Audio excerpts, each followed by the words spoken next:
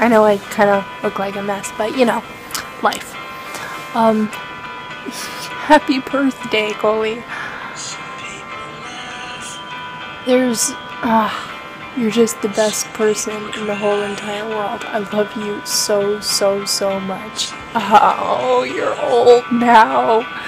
Oh. People that kind of like ask you who you can't live without. And that's kind of like, that, that, that's not a question for me. It's just you, basically. I I couldn't live without you. You're just you're just too good. We're so much together.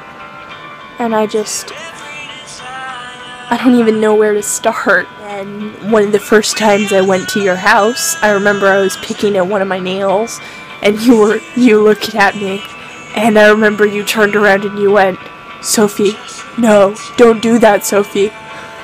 There will be blood."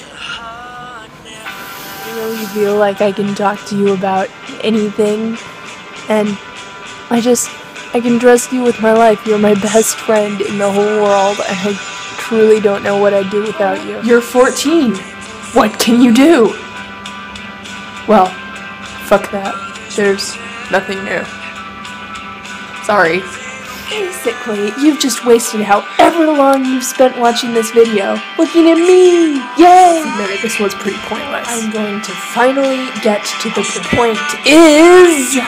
Uncle Pop, it's your birthday, yay! Did I just do that? Right, whoops, that wasn't supposed to Anyway, it's your birthday, and I want you to have the most amazing day on the planet you better have the most amazing day on the planet because I love you more than anything, anything, anything, anything, anything in the whole entire world, and I don't know how I'd live without you. Coco! I love you, Coco!